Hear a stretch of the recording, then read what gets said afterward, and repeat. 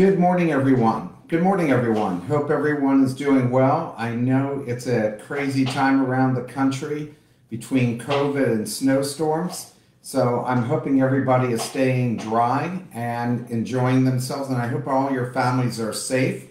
Uh, welcome to another uh, Accelerator um, Q&A with entrepreneurs. And I'm very excited to tackle some of the questions that we're seeing today. So let me go with the first one. Uh, the uh, question is from Gabor uh, Race. And Gabor asked, how do I keep track of what everyone's doing in my growing team? And uh, the description of the business is not long ago, our company consisted of my parents and I plus a secretary. We now have three full-time and four, four part-time employees doing packaging and admin, three to five contractors working on marketing, and many more content production. Some work in our office, others are remote. One of the employees works as a manager of the admins and reports to me while I directly manage everyone who works on marketing. I'm getting very stressed because I feel I'm losing track of what everyone should be doing. When I finally sit down to do my own job, I'm worried I've got all these guys on payroll and I'm not sure whether they're getting work done. How do I make sure my employees are productive and getting the right work done without micromanaging them and constantly looking over their shoulder? So it's really a big change that you're going through right now as you are managing people maybe for the very first time. So what I like to do is I um, have and would suggest that you do is have um, one minute or five minute meetings every morning and have everybody just quickly talk about what they're working on that day and what they accomplished the day before. So everybody is in line and, and using something like Zoom, since you're all probably in different locations because of COVID, or as you mentioned, some of your people are not in the same location. So I would definitely do a, a, Zoom call or some type of call, and I would do it first thing every morning. So you might do it at 8 a.m. or 8.30, whenever your business opens, before you start working with customers, I would have everybody come on and do maybe 15 minutes. Everybody go around, talk about what they're working on, so not only are you informed about what's going on, but all of your colleagues and their colleagues know what's happening as well. And if anybody has any suggestions, they're able to do that. Also, it won't feel like you're micromanaging to them if everybody comes on and talks about what their day looks like and the challenges they're having and what they might need help with, or if they can offer help to somebody else. So if I were you, I would just do these um, month uh, daily meetings in the morning, and then you can also have them send reports. Uh, just a quick email at the end of every week and say, tell me, you know, what you were assigned to do, and tell me what's been accomplished, what hasn't been accomplished, and anything that you're struggling with. Because sometimes people don't want to say they're struggling in front of other people in the group because they're afraid that they'll look bad. So do the 15 minutes every morning, ask people to file something at the end of every week, and you can structure it by having them go online like, um, like a, a Google share and have everybody put in what they're working on and what they've accomplished that particular week. Good thing for technology that we have this technology. It makes it easily available to them. So the next question is from Law Jackson. Law's background uh, and question are, thanks to uh, eight months of mentorship, I have a basic sales process, a short list of vendors, and a project manager in training. I thought sales was my biggest problem. Then I thought it was my limited capacity. Now I know it's my poor system of processes. I'm figuring out my process from sales through to production. It's not perfect, but it works. The real pain is removing myself from the different stages and still getting quality results. You may remember that I'm transitioning away from freelancer mode. It's still pretty much just me. I have a loose plan with a hundred little things to do each week. What are some of the ways to implement process, improve my ability to delegate, and develop sales? Do you think an accountability group would help? First of all, I like writing everything down, all the steps that I have to go through to do whatever I'm doing. So if it's sales, I like to write everything down that I need to do for sales, along with the script that I plan to use for those sales. So both for verbal script and a written script that I might send out in emails uh, to people. If I were you, I would also go and put together a process, write out the entire process of what you go through to deliver your product or service. So that way you can see if everything is moving along smoothly and who impacts each of those parts. Not just yourself, but anybody else who comes along the chain, including your clients. So I would put the process for sales, I put the process for delivering the product, see if there's any holes in it and then after that, I would go and take a look and, and talk to my clients and find out if we're falling down anywhere. Is there anything that we could be doing better? Do they notice anything we can do better? And if you're using outside contractors that are helping you, asking them for their input would be of great help to you. You also ask about should you uh, join a group that um, works on your accountability. So there's a lot of uh, these different groups like Vistage out there that you could go and join. Of course, I guess we can help you with that as well. Um, but I, I, think if, if you're not a disciplined person, then you're probably not going to be successful in business anyway. And so I don't know that you need to have somebody hold you accountable for that. I think if you have more structure in what you're doing, that definitely is going to help you. So again, when you write things out, it kind of reinforces things for you. So that's why I think writing it out would be of great help, help to you.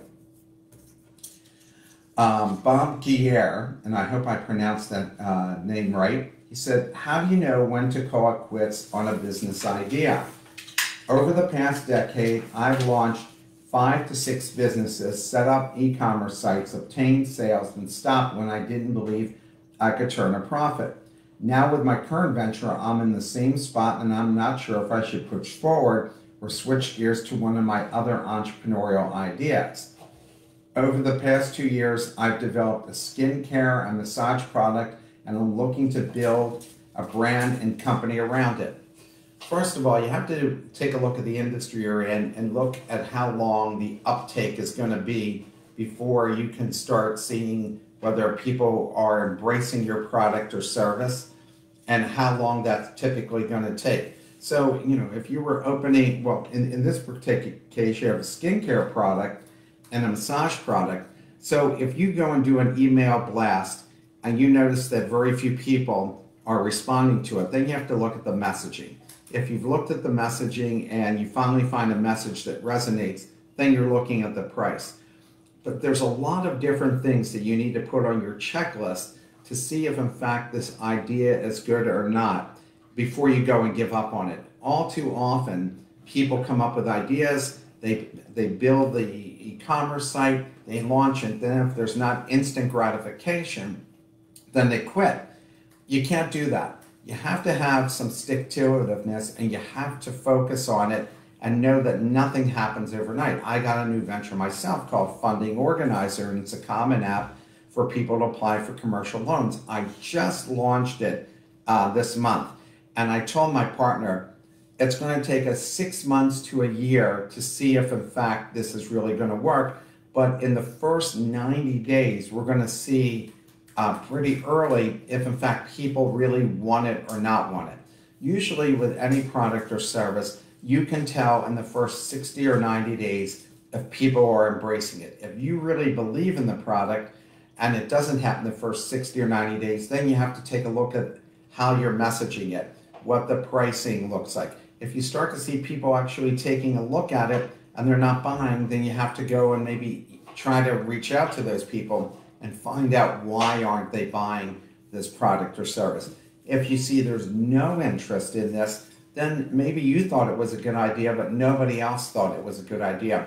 But before you throw in the towel with anything, the best thing to do is take the time to go and send out emails, collect information, contact people, see if um, people are interested. You know, on uh, what is the Sur- Survey Monkey? You can actually go and pay to survey people to find out if, in fact, they'd be interested in your product or service and at the price point. You can ask a variety of different questions, and that could be extremely helpful to you. In fact, I think that's a good way to go, especially in your case when you're offering a consumer product uh, company and service, a consumer product and service. I think it's a good idea to maybe survey the market and see if they like the idea and if they're willing to buy it. Also, you could go and do surveys if your product or service is just regional. You can go out there and just do a regional survey and see. You could use your Facebook to go and do that. You can, use LinkedIn to do that. So there's a variety of things that you can go and do. But don't just start an idea and if it doesn't take hold right away, don't throw up your hands, walk away, and start the next thing. Uh, because I think maybe you're the type of person who loves the idea of the romance of it. And then once it comes to the actual commitment and you're being married to the uh, product or service, then you get bored with it and decide you want to move on to something else. So, just like relationships, there has to be a certain level of commitment and you have to give it a certain amount of time before you decide to walk away and start something else. And and based on what you told me, you've done like five of these different ventures, and you can't be wrong in all five of those. More than likely, you could be wrong in a couple of them. But if in fact you have a good idea and people are immediately jumping on it, great. I mean, I'm finding now with my funding organizer that every bank I'm talking to says, oh my God, this is a great idea. We want to participate. So I know I have something. Now I have to twist the dials to make sure I got the right price and give them the right level of service to make sure that we're going to be successful. The next uh, question comes from Mary uh, Rantacalio. Rantacalio. I'm sorry if I'm mispronouncing this name. She writes, How do I determine how to pay someone to do work for me? Uh, I have a therapy machine for horses and have found and have now found a person to hire to use it what would be the best salary alternative? Hourly paid or per treatment? One treatment is 30 minutes and minimum charge is $50. The person knows a lot of people and is located in a training center for horses, and there's a demand right away. I'm a veterinarian currently working with small animals as a contractor, uh, permanent resident sponsoring process going on. So here is what I would do if I were you. I might give them a small, you know, maybe like a minimum wage type of thing, and also give them part of the sale, so like a commission. And you have to think about how many hours a week are they going to work? How big a market is this? How many horses could they go and do? Because it has to be enough business that they either can make a part time salary, because maybe that's all they're interested in, or full time if they're not making enough money in either of those areas, they're going to walk away and do something else. And one of the things you do not want to be doing is spending your time constantly training people to learn your business and to learn this service.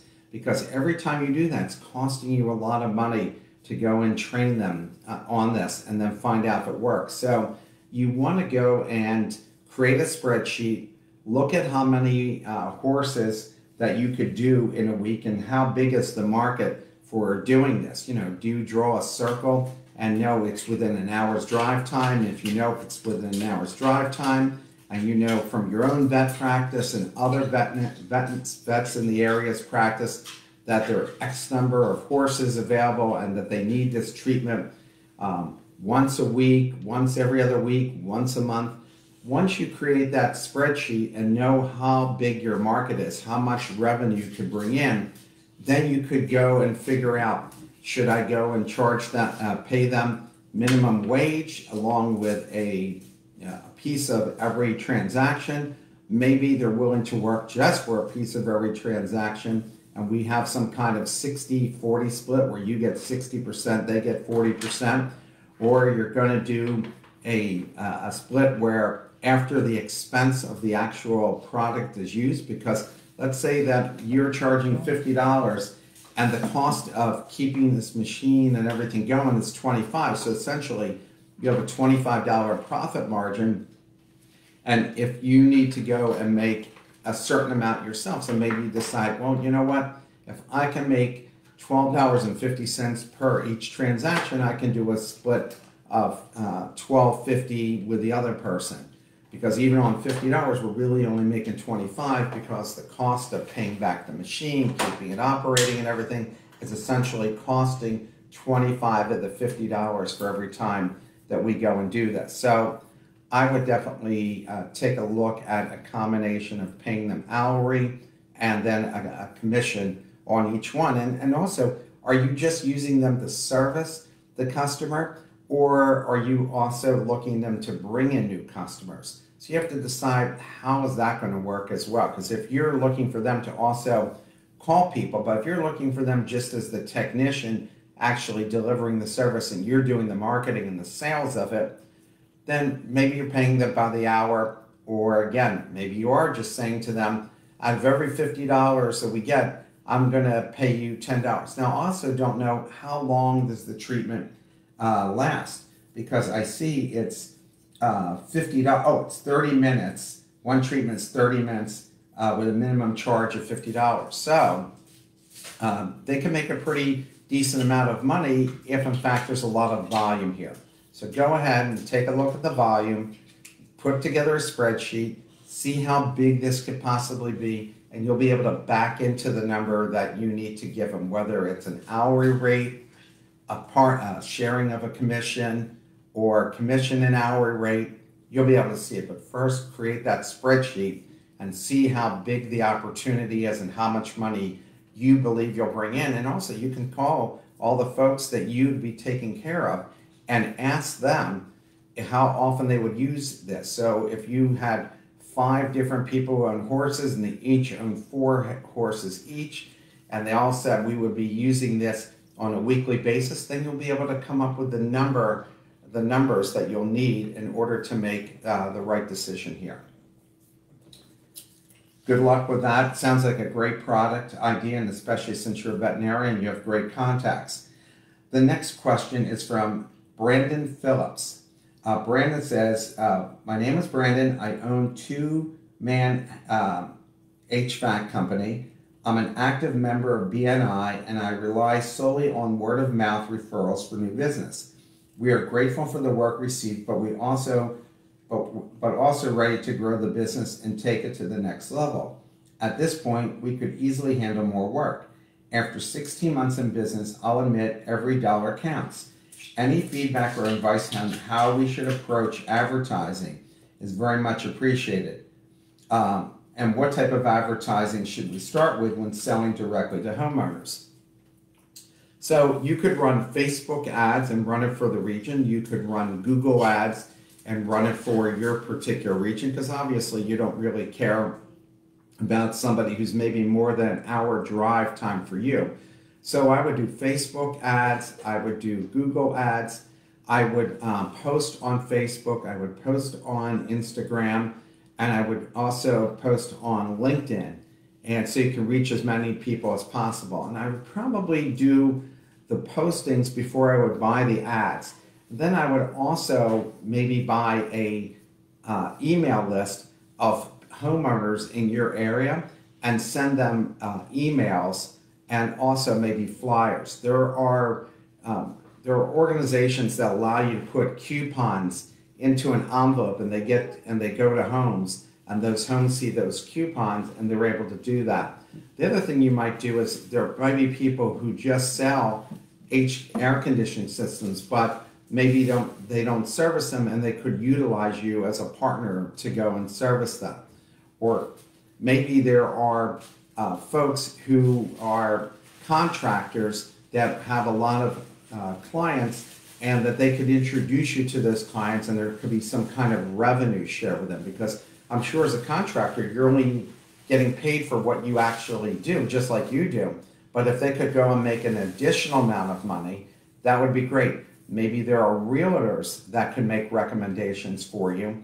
And those realtors could say to especially new homers come in, if you don't have an HVAC guy, I have somebody who would be great for you. And then you could give them a little piece of each of those transactions as well. And frankly, if you're able to work with realtors and they keep recommending you in, and let's say out of every hundred dollars that you go and make, that you give them ten dollars, and all of a sudden now they you have a hundred clients, and every time that you service them, they're getting a piece, ten percent of everything that you're doing on an ongoing basis.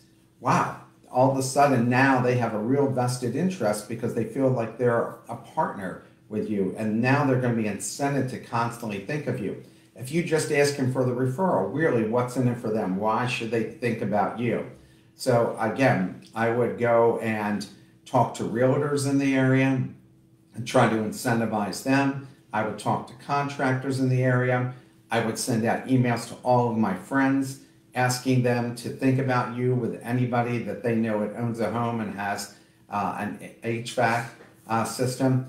I would also go and post on Facebook, like every time that you do something, you might take a picture but not mention the home that you went to because the homeowner probably won't appreciate it. But anything special you've done uh, uh, or anything significant that you tackled or anything new that you're offering, like let's say that you're offering uh, a yearly uh, fee for automatic maintenance to their HVAC system and I don't know, it didn't say in here if in fact you were going after small businesses, but if you were, you might contact janitorial services and see if they would like to recommend you in and, and they would get also an ongoing revenue stream for you.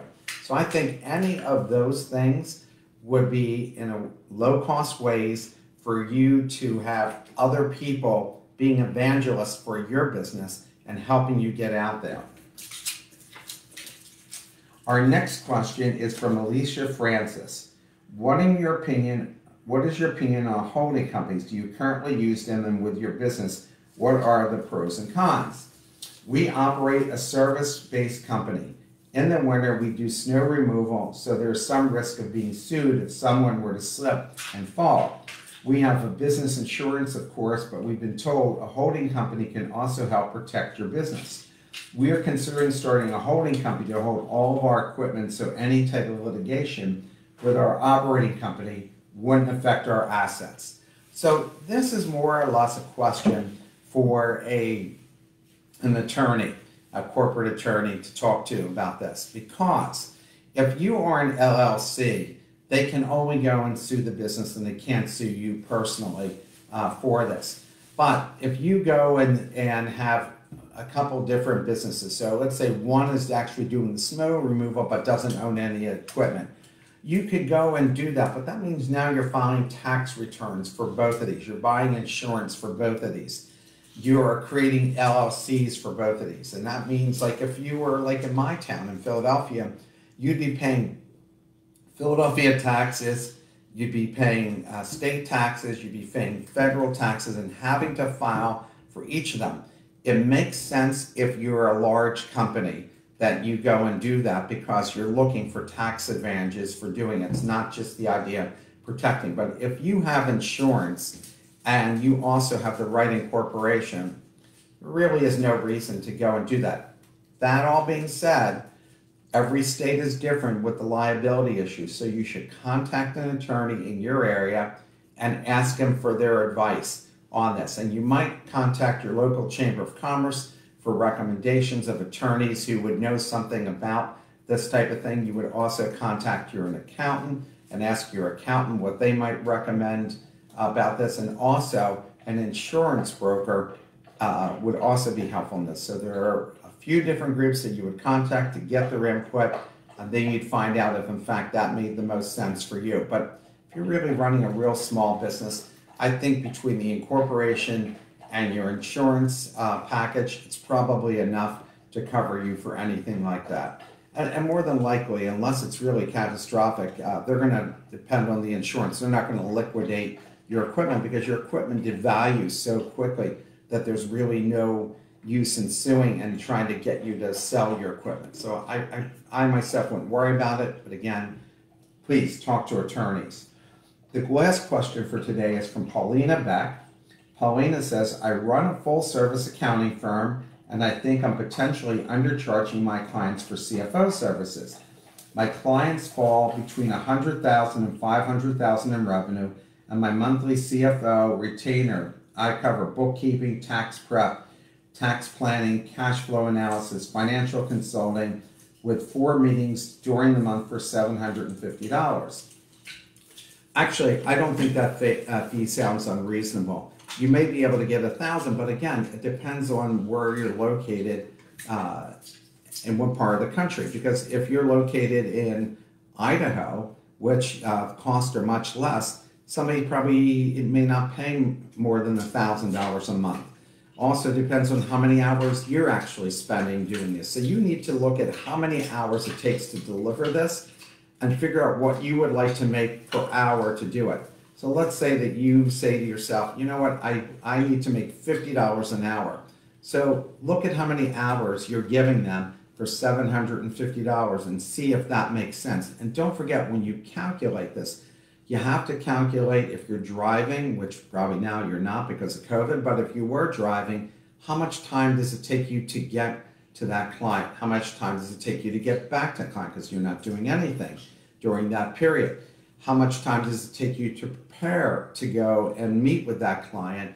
And how long does it take you to do all the different things that you're doing? And create a spreadsheet uh, for all of these different things. So mark down time for preparation, mark down time for travel, mark down time to come back, mark down time for calls that you might do with them. Put all of that time in together, see how much time you're actually giving them, and then uh, say to yourself, how much do I want to make an hour uh, in my business? And if you decide it's $50, $75, whatever that number is, and also take a look at what other people are charging in your area for CFO services. And it doesn't have to be exactly in your town. Maybe it's a town over. Maybe it's an hour away if in fact uh, the the cost of living is relatively the same. Again, you have to take a look at what those things are. I used to go and charge $15,000 to develop a business plan. I was constantly busy in New York uh, doing plans because they were used to paying $25,000 for a plan. So me charging 15,000 was a no-brainer to them. I felt I was making good money and they felt like, oh my God, it's a great deal for all the experience that this guy has. Could I have been charging a little bit more? Probably so. Uh, but in Philadelphia, charging $15,000 for a plan, people were thinking about that. So, you know, sometimes I could only charge $10,000 uh, for a business plan. Again, it all depends on the region, the industries that you're dealing with, how many hours you're putting in. So there's a lot of factors that go into this, but certainly you should create a spreadsheet and make sure you count all the time you're going to put into this, not just the actual time that you did the work or the actual time you met the person. There's a lot of prep that goes in to when anytime you're working uh, with a company.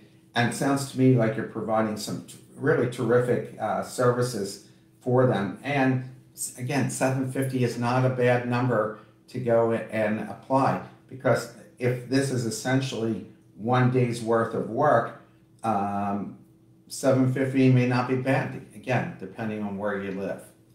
Well, I hope all of you have a great and wonderful and safe day. It was a pleasure speaking to all of you. I look forward to the next set of questions. I hope all of you have a great end of year, a happy new year. I hope all your families stay safe. And I look forward to speaking to you in 2021. Take care.